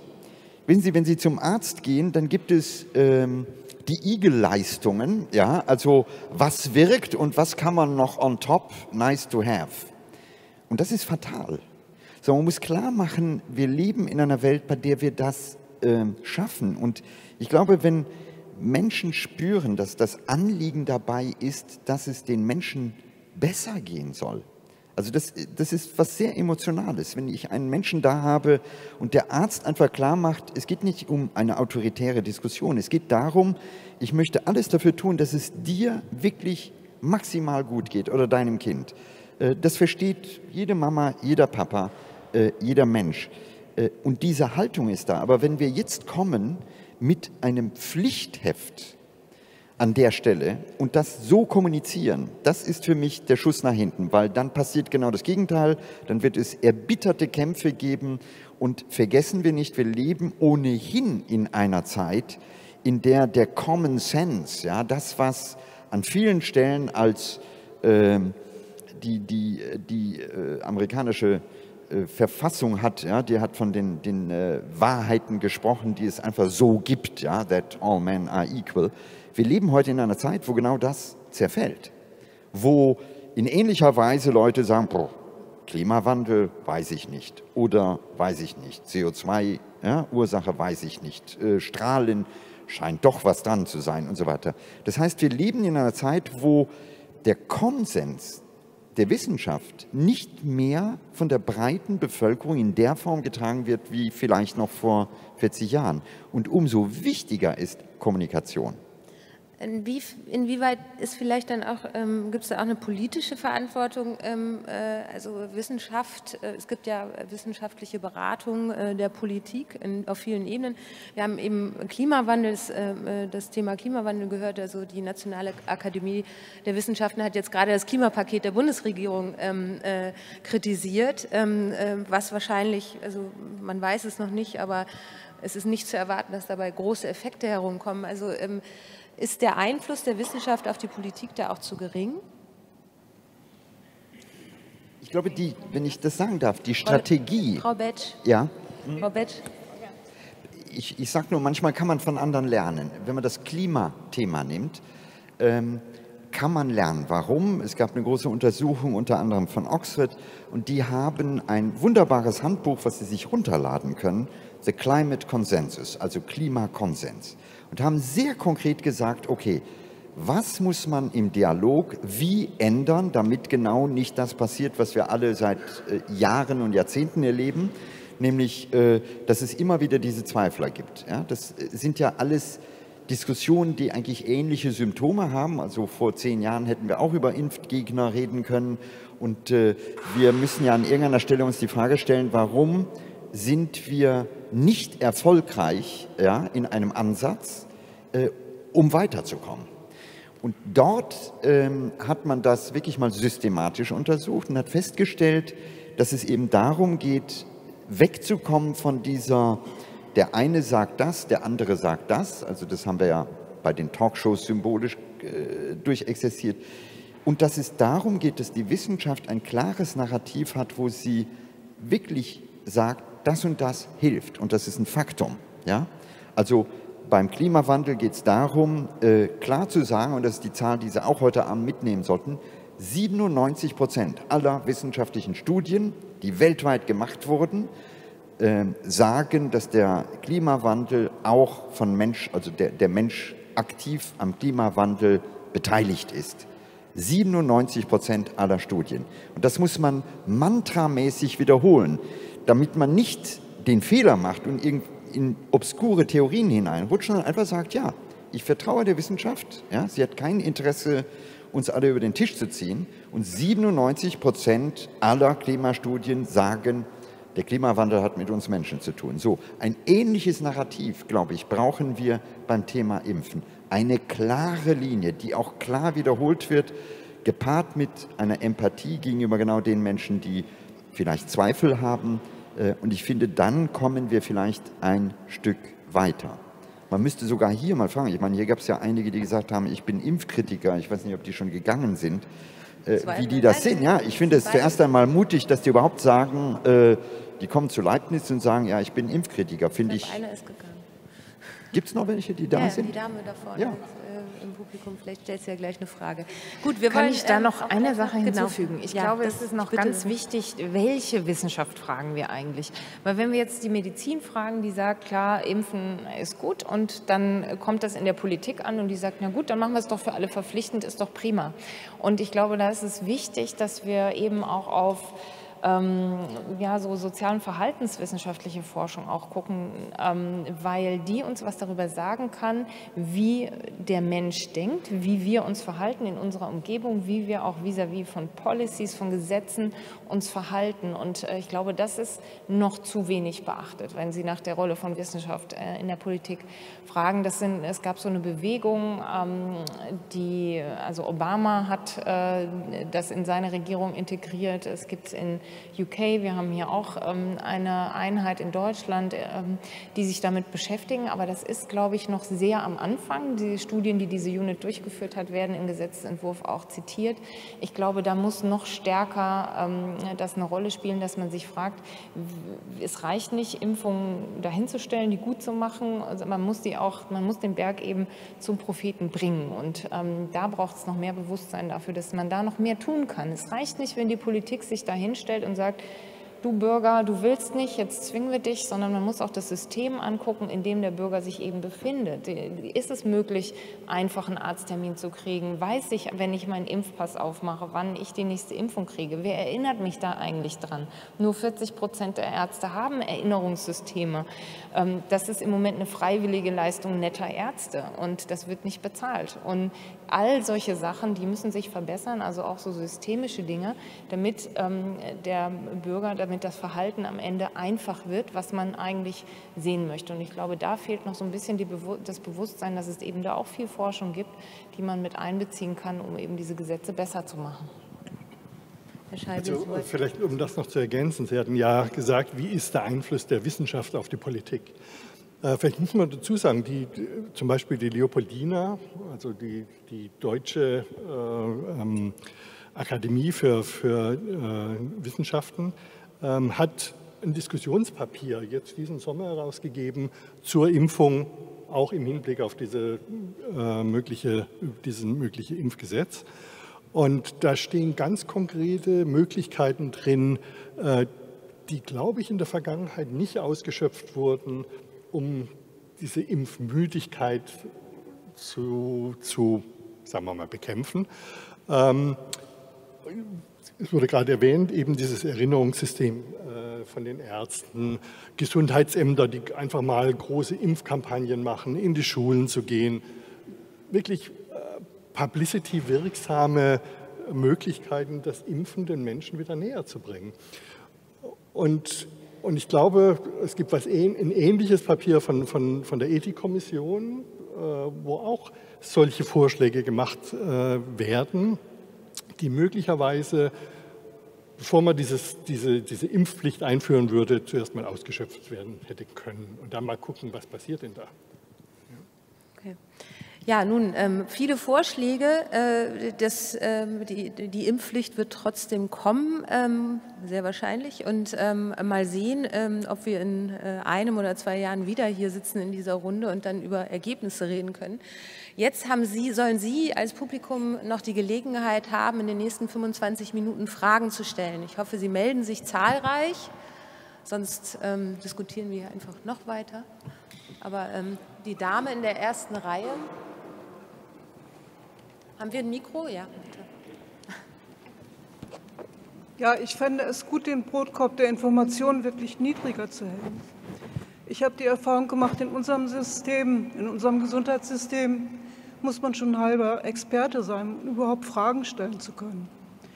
Und ich als normaler Bürger muss mich für jedes Thema, in das ich so reinrutsche, erstmal grundsätzlich sachkundig machen. Und wenn ich dann bei Google gucke, und diese Bücher sehe, dann äh, glaube ich natürlich erstmal das, was da steht. Und das, was Sie sagten, mit Empathie Fragen zu beantworten, finde ich eigentlich nirgendwo. Also da muss wirklich sehr groß dran gearbeitet werden. Und das sollte möglichst früh beginnen, vielleicht in den Schulen, in den Kindergärten, wo junge Eltern sind. Danke. Haben Sie noch Fragen? Hier hinten, dort. Der Herr, dort. Wer ist jetzt dran? Ja, nee, äh, sprechen Sie einfach. Wer Jeder soll noch drankommen. Wir haben ja noch Zeit, also kein. Äh, ich wollte noch mal eine Bemerkung zu Herrn Yogeshwar machen, für konsensuale Wissenschaftswahrheitsfindung. Ich denke, wir sollten uns von dem Delphi-Prinzip in der Wissenschaft verabschieden. Die Wissenschaftsgeschichte ist voll von konsensualen Irrtümern, angefangen bei den achtbeinigen Fliegen von Aristoteles. Es ist nicht unsere Aufgabe, Fragen zu beantworten, sondern unsere Aufgabe, Fragen zu stellen als Wissenschaftler. Ich glaube, die Situation ist ein bisschen komplizierter, als dass man sagen kann, da ist die Wissenschaft, die gibt uns die Antwort und sagt uns, was wahr und richtig ist. Das ist nicht unsere Aufgabe. Und Skeptizismus gehört meines Erachtens zu einer der Grundeigenschaften von erfolgreichen Wissenschaftlern, ja, in jeder Hinsicht. Also, dass alles, was wir sozusagen hier diskutieren, vielleicht ein bisschen komplizierter ist, als dass sich einfach 100 Wissenschaftler hinstellen und 97 sagen, das ist wahr. Und dann habe ich noch eine zweite Frage. Das wäre eine Frage, und dann würde ich gerne wissen, was das illustre Gremium zu der Tatsache zu sagen hat, dass in Deutschland ja vielleicht bald eine Impfpflicht gibt, aber es gibt auch Impfverbote, vielleicht für Nutztiere zum Beispiel. Ja? Und wie, sozusagen, wie Sie das ethisch sehen, ja? dass bestimmte Impfverfahren einfach nicht eingesetzt werden, weil es ökonomisch nicht sinnvoll ist. Okay, zu der ersten zu Frage. dem ersten Block, also als Wissenschaftler stimme ich Ihnen natürlich zu. Aber wir reden hier nicht unter Wissenschaftlern. Ich glaube, da wäre die Debatte total einfach. Wir reden hier davon, dass die Erkenntnisse der Wissenschaft kommuniziert werden an eine breite Bevölkerung, die zugegebenermaßen nicht wissenschaftlich geschult ist. Und in dem Moment äh, ist es, glaube ich, auch unsere Pflicht als Wissenschaftler, Erkenntnisse zu destillieren und klar zu kommunizieren. Denn ähm, wir können natürlich, weil das haben wir auch erlebt, ja, all diese Debatten rennen sich wiederum, dann haben Sie Talkshows, da sitzen zwei Fachleute, die sind nicht einig, aber überlegen Sie mal, was ist der Effekt für den Laien? Der steht irgendwann da, der größte Teil der Laien, und die sagen irgendwann, ja, was soll ich jetzt äh, tun? Menschen brauchen manchmal eine konkrete Handlungsanweisung und da bin ich schon sehr klar, ähm, dass es auch die Aufgabe der Wissenschaft ist, an der Stelle für Klarheit zu sorgen was nicht heißt, sie soll sich negieren, was nicht heißt, sie soll nicht skeptisch sein, das gehört dazu. Aber wir reden hier von dem Kommunikationsprozess der Wissenschaft ähm, zum Rest. Unter Wissenschaftlern, glaube ich, können wir wunderbar streiten, das ist auch okay. Sehr gut, Herr Kleiner. Ähm, äh, der Herr dort. Ach so, Entschuldigung. Wir müssen erst noch die zweite Frage beantworten. Genau. Ich weiß jetzt nicht, ob wir hier auf dem Podium so die Experten dafür haben. Ich weiß nicht, ob sich jemand mit äh, äh Tierimpfungen und ihrem Verbot auskennt. Ich kann kurz ein Beispiel nennen. Rinderherpes ähm, äh, es gibt eine Impfung gegen Rinderherpes, die ist aber verboten, ähm, äh, weil man dann, oder es gibt auch andere Impfungen, weil man ist verboten, weil man dann die ungeimpften von den erkrankten, äh, die geimpften von den erkrankten ähm, äh, Tieren nicht mehr unterscheiden kann. Und deswegen werden im, in der Tiermast äh, Impfungen verboten. Also ich weiß nicht, ob ähm, dazu äh, jemand etwas sagen kann. Und es gibt ma manche Erkrankungen, die tatsächlich die geimpften Tiere immer noch Überträger sein können. Genau. Das ist einer der anderen äh, Begründungen. Aber in der Tat habe ich mich das auch schon ein paar Mal gefragt, warum das nicht eher mal möglich ist, dass man auch mal ähm, äh, alle Schweine zum Beispiel in Deutschland einfach impft. Das Problem ist einfach, die, diese Tiere haben nicht diese Lebenserwartung und anscheinend scheint es ökonomisch immer noch billiger zu sein, sie alle zu keulen und äh, wenn, wenn tatsächlich mal so eine Krankheit auftritt. Aber in der Tat, die Frage habe ich mir selbst schon gestellt. Wir können sie nur leider nicht abschließend beantworten. Also das Warum können wir nicht beantworten. Äh, hier geht es halt um Menschenimpfung, äh, die Impfung beim Menschen. Der Herr äh, mit dem Würfel vorne in der ersten Reihe, bitte. Ja, mein Name ist Wolfgang Kersten und auch wenn eben zufällig die Blicke nach, bei der Frage, ob hier noch Impfgegner da sind, hier so in meine Richtung flogen. Also ich bin ein Befürworter des Impfens und als Naturwissenschaftler. Hinter ihm. saßen Zumindest saßen zwei, ja, ja, äh, die die Hand gehoben haben. Aber äh, also ähm, ich bin da schon sehr von überzeugt, auch aus egoistischen Gründen. Aber ich möchte noch mal eine Frage hier ansprechen, vielleicht an die Psychologin auch. Wir sprechen ja davon, wie können wir oder Sie, die da noch mehr im Fokus stehen, äh, sozusagen Bevölkerung überzeugen. Und Herr Yogeshwar hat ja auch schon wie ein Politiker fast hier gesprochen, was ich auch durchaus sinnvoll finde, wenn man mit einer breiten Bevölkerung äh, in den Dialog treten möchte. Ähm, aber weshalb Sie hier miteinander diskutieren und wir interessiert zuhören, hat doch eigentlich nur einen Grund. Und das ist doch die Frage der epidemiologischen äh, Sichtweise. Ähm, nicht, ob der Einzelne etwas davon hat. Ähm, deswegen ist auch die Frage nach dem Gebärmutterhalskrebs noch eine etwas andere, sondern es geht ja um die Gefahr der Ansteckung. Es ist also eine Frage der Epidemiologie äh, und deswegen geben Sie sich so viel Mühe, hier überzeugend zu wirken. Ist unsere Gesellschaft empfänglich, und das wäre jetzt meine Frage konkret, ist unsere Gesellschaft empfänglich, vielleicht könnte man auch sagen, noch empfänglich für Appelle an die Gemeinschaft? Oder ist sowas nur in einer Staatsform wie vielleicht dem Sozialismus oder ähnliches ähm, äh, angebracht? Denn wir sind ja sehr aufs Individuum gerichtet. Sonst würde ich das vorschlagen, dass man das vielleicht auch noch mehr ins Spiel bringt und sagt, äh, denk an die Gemeinschaft, wenn du nicht nur an dich selbst dabei denken möchtest. Ja, vielen Dank. Das ist ganz toll, dass Sie diesen wirklich wichtigen Punkt noch aufbringen, weil das ist sehr wichtig. Mit Impfen schützen wir nicht nur uns selbst, sondern eben auch andere, mit den meisten Impfungen zumindest. Das heißt, Impfen ist auch ein soziales Verhalten. Und wir haben uns genau diese Frage auch gestellt. Was macht das eigentlich mit den Leuten? Ist das ein Punkt, der den Leuten wichtig ist? Weil es hat ja immer so ein bisschen zwei Seiten, diese Medaille. Wenn ich weiß, andere schützen mich mit, kann ich sagen, super, mache ich mit. Oder ich kann sagen, schön, wenn Sie alle geimpft sind, dann kann ich Trittbrettfahrer sein. Ich kann der eine sein, ich muss nicht zum Arzt, ich habe keine Nebenwirkungen. Ich, Sie schützen mich alle mit. Vielen Dank. Und ähm, diese Frage haben wir uns auch gestellt und haben da Experimente gemacht, indem wir ähm, das kommuniziert haben, diesen Gemeinschaftsschutzgedanken oder nicht kommuniziert haben und haben das hier gemacht, in westlichen Ländern und in asiatischen Ländern, die genau diesen kollektivistischen Hintergrund haben, den Sie auch gerade angesprochen haben und haben das verglichen, ob diese Kommunikation in den Ländern unterschiedlich wirkt. Und ähm, was wir gesehen haben, ist, dass in unserer westlichen Gesellschaft, die wir eher individualistisch sind, tatsächlich dieser Gedanke ein wichtiger ist. Wenn die Leute das wissen, sind sie bereiter, sich impfen zu lassen. Also wenn es die Leute wissen, sie können andere mitschützen, dann ist ihnen das auch ähm, wichtiger und dann ist es ein zusätzlicher Punkt. Es ist sozusagen die Kirsche obendrauf wenn, das kann nicht der einzige Grund sein, aber es ist ein zusätzlicher wichtiger Punkt. In den ähm, asiatischen Ländern, die wir untersucht haben, da hat es keinen Unterschied gemacht. Da war insgesamt die Impfbereitschaft höher. Und in anderen Studien haben wir auch gesehen, dass die Impfen schon eher als eine soziale Handlung wahrnehmen und dann es auch eher tun. Also dieser Punkt ist in der Aufklärung sehr, sehr wichtig. Ähm, und das ist auch eine Debatte, die ich mir auf den Spielplätzen wünsche, über die soziale Verantwortung. Also bin ich die eine, die ein ungeimpftes Kind in den Kindergarten schickt und das steckt alle an? Ähm, oder bringt zumindest diese Gefahr in diesen, äh, oder trägt jeder dazu bei? Also das ist ein sehr wichtiger Punkt. Ähm, auch, dass wir uns darüber, also Impfen ist sozusagen ein sozialer Kontrakt, den wir eingehen. Also wenn ich es mache, will ich sicher sein, dass Sie es auch tun.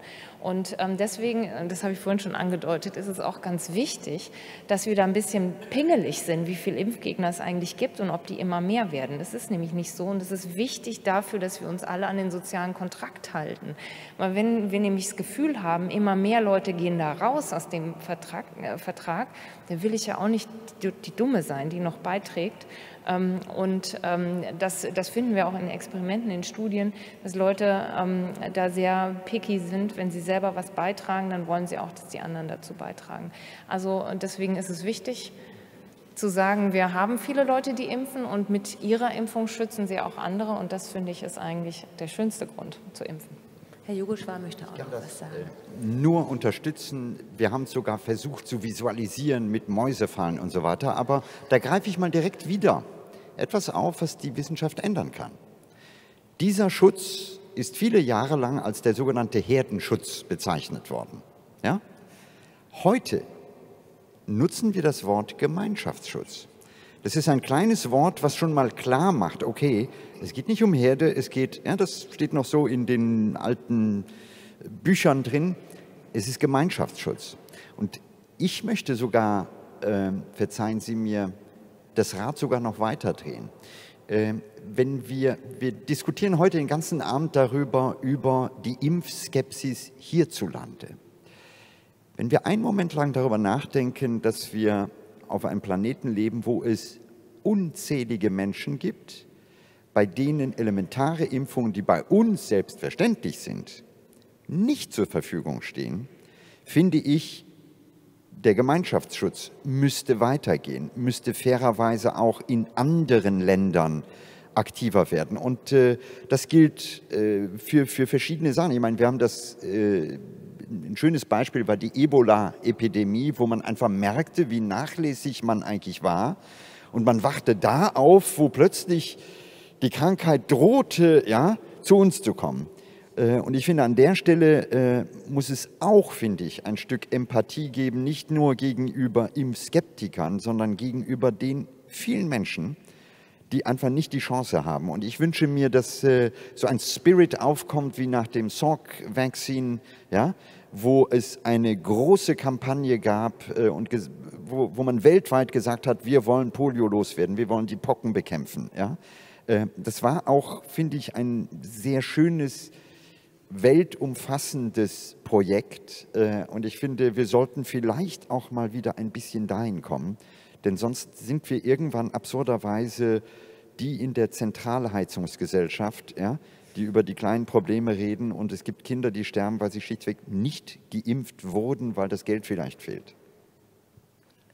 Ganz kurz noch die Frage, ist es denn, also muss man dabei nicht auch, Nachfrage noch dazu, muss man nicht auch daran denken, dass Kinder, die hier nicht geimpft werden und möglicherweise vielleicht völlig ohne Folgen an Masern erkranken, diese Krankheit auch woanders mit hinnehmen können, meinetwegen in Familienurlaub und in Ländern, wo die Kinder nicht so äh, äh, durchgeimpft sind, auch eine Epidemie auslösen können. Also äh, das kennt man. Das ist in der Tat 2016 passiert. Da ist ähm, aus einem Ausbruch in Hamburg, ein Masernausbruch in diesem Fall in Hamburg, ist nach Bulgarien geschleppt worden, hat dort 24.000 Leute infiziert im Endeffekt. 24 äh, Todesfälle, da sieht man auch, ne, was ist die Todesrate, 1 in 1000, ähm, ausgelöst. Und auf die Art und Weise sieht man das ganz schön. Es gibt ein Beispiel 2018 über einen Schüleraustausch, da ist, ähm, sind die Masern nach Guatemala getragen worden. Guatemala galt als masernfrei. In diesem Fall ist es äh, natürlich ähm, in der Statistik plötzlich hochgerutscht und galt nicht mehr als masernfrei. Ähm, also das findet tatsächlich statt. Ich finde aber vielleicht noch einen Aspekt zu dieser äh, Gemeinschaft, diesem Gemeinschaftsschutz. Wir denken, wir reden jetzt sehr viel über Masern heute Abend. Als 2000 ähm, die Pneumokokken-Impfung äh, für Kleinkinder äh, eingeführt wurde, hat man überall in den Ländern, wo die eingeführt wurde, gesehen, dass plötzlich auch die, die Lungenentzündung, die durch Pneumokokken erzeugt wird, bei alten Leuten runtergegangen ist. Ja, weil, man das, weil die Kinder eine, Infektions, eine Infektionsquelle darstellen für die alten Leute, für die Großmütter und Großväter. Und daran sieht man, was für eine, für eine äh, Interaktion stattfinden kann zwischen diesen unterschiedlichen Populationen, den Gruppen in der, in der Bevölkerung.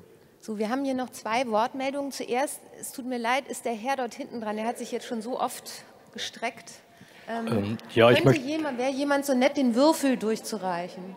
Achso, er hat ein Mikrofon. Ich habe ein Mikrofon, okay, ja. Alles klar. Ja, Stichwort Tierheilkunde. Also ich bin selber Tierarzt und möchte eine Sache richtigstellen. Man kann sehr wohl beim Rinderherpes unterscheiden, Impfvirus oder Feldvirus. Ähm, ich möchte aber, ich bin ein bisschen impfskeptisch, das muss ich zugeben. Ähm, nicht wegen des Wertes von Impfungen, sondern auch wegen des Problems von sogenannten Adjuvantien. Und äh, da ist das Aluminium sicher an erster Stelle zu nennen. Und äh, eine Impfung äh, ist generell nicht nur ein Peaks. Also eine Impfung ist eine solide Provokation des Immunsystems. Es ist eine Impfinfektion. Und sich damit auseinanderzusetzen, ist eine Leistung. Und äh, das können nur gesunde, ähm, gesunde Tiere und gesunde Menschen. Insofern verlangt man da auch eine entsprechend sorgfältige Untersuchung. In meinem Fall stand die Tetanusimpfung an, die alle zehn Jahre üblicherweise empfohlen wird. Und ich war so frei und habe meinen Arzt gebeten, erst mal eine Blutprobe zu ziehen und auf Tetanus-Antikörper zu untersuchen. Und das Ergebnis war, die Antikörper, der Antikörperspiegel ist nach wie vor belastbar. Auf die Impfung konnte verzichtet werden. Zehn Jahre später das Gleiche nochmal. Wiederum ist mein Antikörperspiegel belastbar, obwohl die letzte Impfung jetzt 20 Jahre her ist.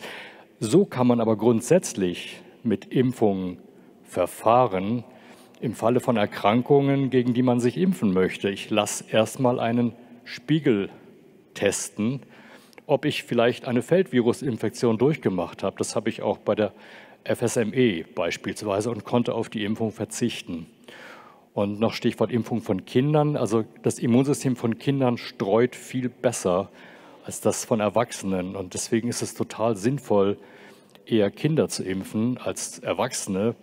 Ähm, ich will jetzt auch Erwachsenenimpfungen nicht äh, in Grund und Boden reden, aber Kinder zu impfen ist tatsächlich ein wertvoller Schutz von Erwachsenen, auch von Alten. Also nur um noch an das Letzte anzuknüpfen. Vielen Dank. Okay. so okay. skeptisch sind Sie auch nicht. Möchte, möchte jemand, möchten Sie noch was dazu sagen? Nee. Ähm, hier vorne ähm, äh, der Herr mit dem Würfel, bitteschön. Ja, danke schön.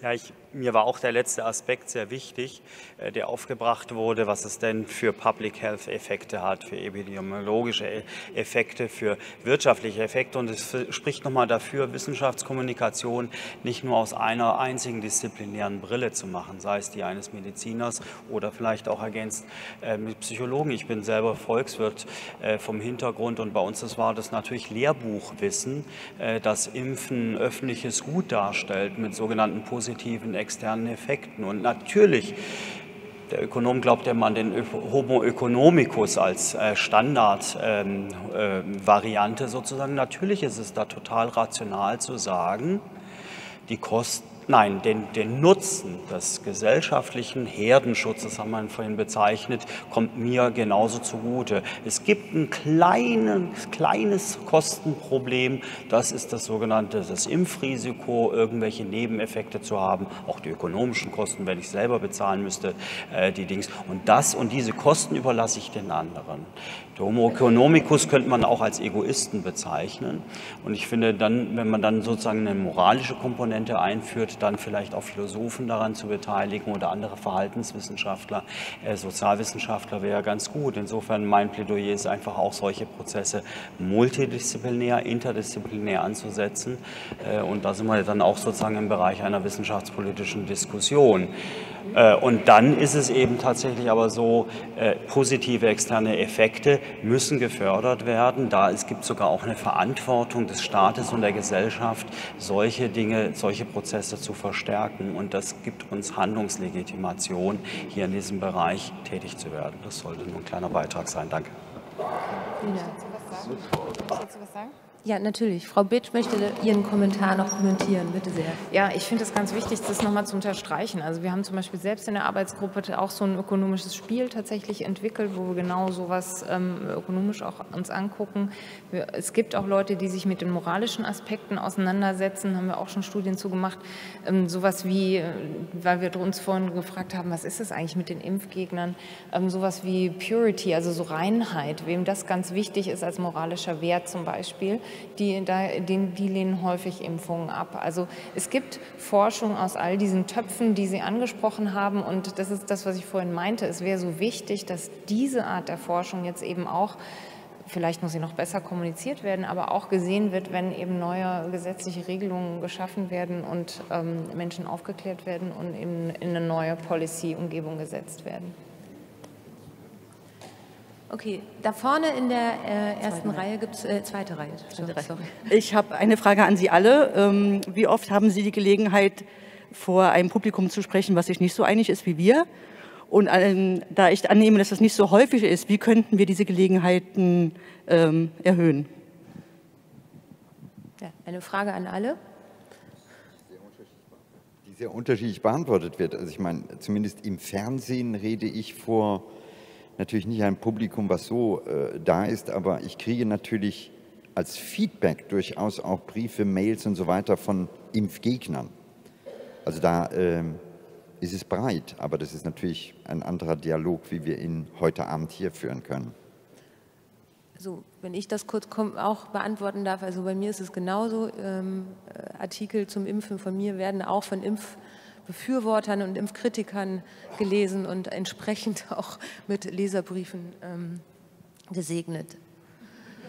Nein, nein, das ist, das ist genau das, was man nicht tun darf. Sorry. Weil ich habe vorher gesagt Empathie. Ich glaube, das Wichtige ist, äh, dass bei den Impfgegnern, dass man das Argument hört und fair und äh, wirklich fair antwortet. Weil genau das dürfen wir nicht. Wenn wir immer hingehen und sagen, oh, da ist einer, der skeptisch, dann machen ähm, wir den Entschuldigung, Fehler. aber also ehrlich gesagt, bei meinen Briefen ich, hat das ziemlich gut funktioniert. Ich habe, äh, ich antworte auf alle Leserbriefe und es ist harte Arbeit. Es ist ja. harte Arbeit. Und in keinem dieser äh, Leserbriefe wird einfach nur gesagt, naja, Sie sind ja ein Spinner. Also überhaupt nicht. Das möchte ich nur mal kurz okay. klarstellen. So, bitte, Herr Scheible. Also ich bekomme keine Leserbriefe und ich muss sagen... Ähm, Wir können die weiterleiten, ja? weiterleiten, ja. Ähm, und ähm, war bisher auch in keiner kontroversen Diskussion, weil man, glaube ich, unter dem Wissenschaftler herrscht da Konsens. Ähm, dass eine Impfung einfach ein, ein, eine, eine, tolle Entwicklung äh, und medizinische Entwicklung der letzten 100 Jahre war, äh, die uns einfach von vielen Geißeln zumindest teilweise befreit hat. Ja, in der Tat ist es manchmal schwierig, wirklich Impfgegner zu finden. Wir versuchen ja manchmal auch unsere Forschung in diese Richtung auszuweiten, weil wir gucken wollen, wie wirkt bestimmtes Material bei Impfgegnern äh, oder wie, ja, was bewegt die wirklich. Und das ist sehr schwierig, weil es gibt davon einfach sehr wenig. Und ähm, bei solchen Veranstaltungen hat man in der Regel ein, zwei, drei, vier, fünf Leute, vielleicht einen, der ganz krass dagegen ist und so eine Handvoll, die nicht so richtig wissen und dann einfach sehr viele Leute, die sich interessieren. Und ich glaube, das entspricht einfach tatsächlich der Verteilung. Und ich glaube, es ist einfach wichtig, den tatsächlichen empathischen Dialog zu suchen. Aber ich glaube, weiß nicht, ob das diese Art der Veranstaltung dafür geeignet ist. Ich äh, bezweifle manchmal, ob wir vielleicht dieses Wort Impfgegner noch mal genau anschauen ja. sollten. Denn ähm, wen meinen wir damit? Die Menschen, die wir erreichen wollen, sind ja Menschen, die aus welchen Gründen auch immer sich dazu entschließen, ihr Kind oder sich selbst nicht zu impfen. Das sind vielleicht nicht die eloquenten Impfgegner, die jetzt jede Theorie aus dem Hut äh, zaubern, sondern die, die aus anderen Gründen sich dazu entscheiden und sagen, nein, das möchte ich nicht. Ähm, das sind vielleicht nicht Impfgegner im Sinne äh, ja, der, der aktiven oder proaktiven Menschen, die ja, in Diskussionen sich beteiligen, sondern ganz still einfach für sich eine Entscheidung fällen. Und die sind, glaube ich, die, die wir, ähm, den, denen wir die Hand ähm, ausstrecken müssen. Es wird einen minimalen Prozentsatz an komplett überzeugten Gegnern geben. Äh, und da habe ich das Gefühl, okay, äh, da ist man mit dem Latein am Ende, die wird man nicht erreichen, wenn ich alleine in den USA an religiöse Gruppierungen und Sekten denke. Ja? Äh, sorry, da, äh, da kapituliere ich. Aber das Gros sind die anderen und ich finde, die kann man erreichen, wenn man sie nicht stigmatisiert als Impfgegner, sondern vielleicht als Zweifler oder als ja, Impfverneiner in dem mhm. Sinne, dass sie nicht aktiv sich impfen lassen. Also ich möchte vielleicht Passen noch ein ganz, kurz, posi ganz positives Beispiel sagen für ähm, wie hilfreich manchmal ist, dass es Gruppen gibt, die sich nicht impfen lassen. Äh, es gibt so eine, so eine Gruppe in Holland, die ähm, sehr orthodoxe Protestanten sind und die sagen, wir lassen uns bzw. unsere Kinder nicht impfen. Gleichzeitig stellen sie sich zur Verfügung, wissenschaftlich untersucht zu werden. Und an Rand dieser Gruppe konnte jetzt gerade gezeigt werden, was für eine nachhaltige Wirkung, zum Beispiel eine Maserninfektion, da gab es einen Masernausbruch vor einigen Jahren, was für eine nachhaltige Wirkung dieser Masernausbruch für die Immunantwort gegen ganz andere ähm, Infektionserreger bei diesen ähm, bei diesen Kindern, die da betroffen waren von dem Masernausbruch, hatte.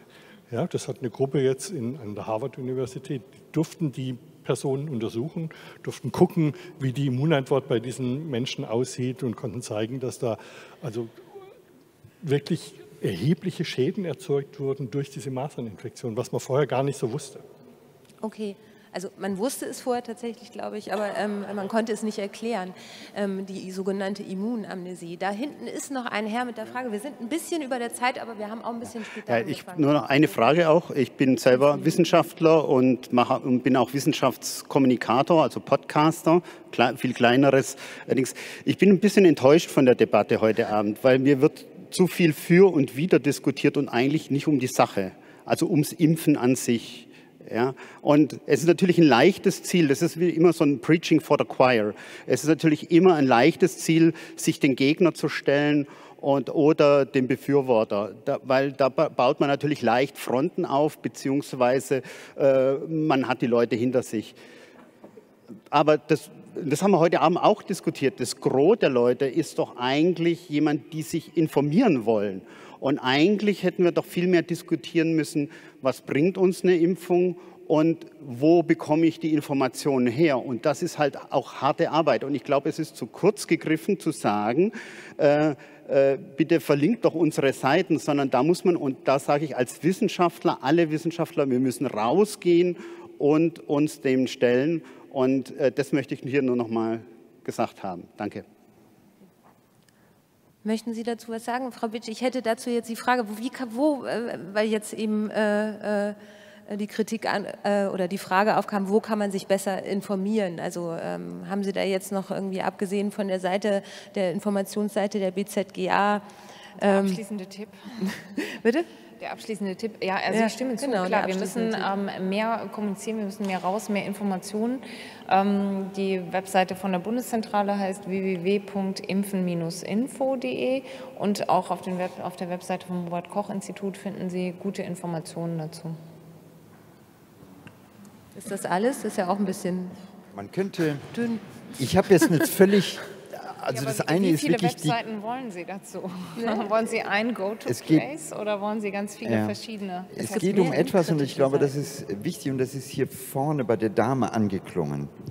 Äh, wir haben tolle Webseiten, aber viele dieser Webseiten sind für den Laien kompliziert.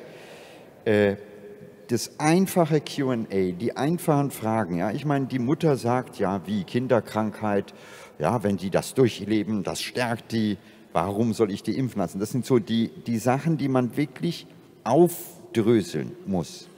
Und ich glaube, das Zweite ist, ähm, stellen Sie sich vor, ich meine, Jens Spahn und Co. wollen jetzt eine Impfpflicht einführen.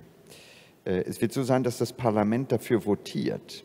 Ich fände es eigentlich eine ziemlich coole Aktion, wenn die Parlamentarier, stellen Sie sich einfach mal vor, die Parlamentarier, jeder ein klares Argument nennt oder eine Sache aufklärt. Stellen Sie sich einfach mal den Impact vor, wenn ein Bundestag wirklich von Partei A bis Partei Z äh, selber im Grunde genommen diese Botschaft rausgibt und sagt, hey, das ist wichtig.